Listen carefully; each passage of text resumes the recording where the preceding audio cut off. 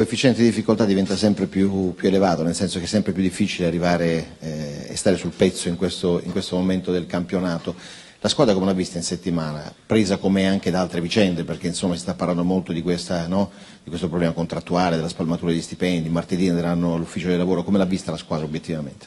L'ho vista abbastanza comunque serena. Io mi auguro che tutto si risolva proprio per il bene del Bari, perché effettivamente sarebbe un'ulteriore sconfitta ancora riuscire a ad aggravare un po' quest'annata con una situazione del genere e che tutto si possa risolvere solo in, in una sconfitta tecnica diciamo, sul campo e che possa la società invece ricostruirsi il suo futuro. Questo è proprio il mio augurio che, che faccio di cuore e vediamo in settimana come le cose si, si risolveranno. Lei da uomo di sport, da uomo di maggiore esperienza rispetto ai ragazzi, ha provato a dar loro un consiglio anche in quest'ottica? Io ho detto anche ai ragazzi, eh, siete in una società che tutte le garanzie che vi può dare ve le manterrà sicuramente, per cui sotto questo aspetto penso ci sia proprio di, di dare fiducia e poi però vedi sono sempre anche situazioni un po' individuali, singole, perché ognuno deve curarsi i suoi interessi. Ormai il giocatore è una piccola azienda individuale e base a quello che decideranno con i loro manager e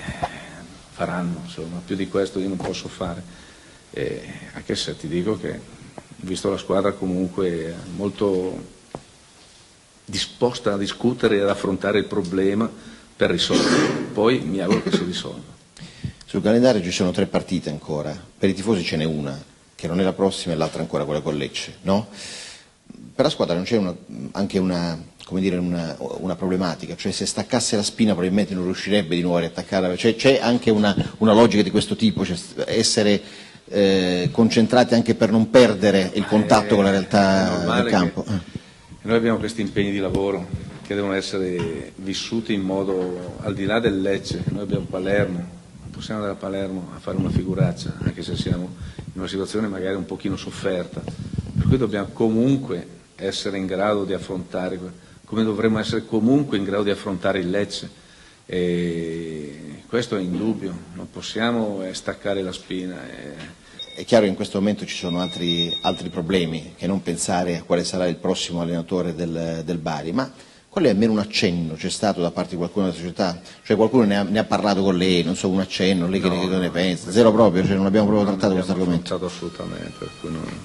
Sì, poi penso che non, è il, cioè non sia neanche tanto il momento, poi la società farà, avrà le sue strategie, ma è giusto che sia così, non bisogna nemmeno farsi condizionare più di tanto a certe cose. Quanto le piacerebbe magari avere una chance col Bari ma in Serie B? È chiaro che Bari è sempre una piazza, è una realtà, poi quando sei coinvolto in queste situazioni ancora ti leghi un po' di più sotto questo aspetto perché eh, c'è anche un coinvolgimento un po' così a livello eh, umano però è, normale che noi siamo, il mio impegno è fino a giugno, poi la società farà le sue, le sue scelte.